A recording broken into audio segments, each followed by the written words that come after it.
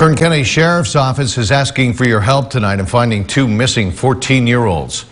KCSO says Savannah Torres was last seen around 1 o'clock this afternoon on Columbus Street. She was last seen wearing a green tank top, a black sweatshirt with the Cookies logo on the front, and maroon sweatpants.